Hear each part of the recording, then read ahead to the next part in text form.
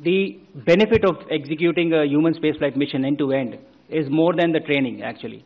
The supplementary knowledge that you get just by being there, the experience of it, the conversations that you have, the interaction that you have with people who have had a history of uh, human spaceflight, it is invaluable. And I think all of this information uh, that I have been able to collect in the past one year is is going to be extremely useful for us for our own mission, the Gaganyaan and the Bharatiya Antariksh Station.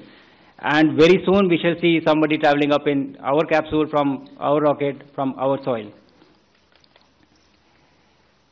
In spite of all this training आपने चाहे जितनी भी training की हो लेकिन उसके बाद भी जब आप उस रॉकेट पे बैठते हैं और जब वो इंजन इग्नाइट होते हैं when they catch fire, I think it is a very different feeling. I had not imagined of how it would feel like, and I was actually, you know, running behind the rocket for the first few seconds. I took time to catch up to it. From that point of time till the time we splashed down, the experience has been unbelievable.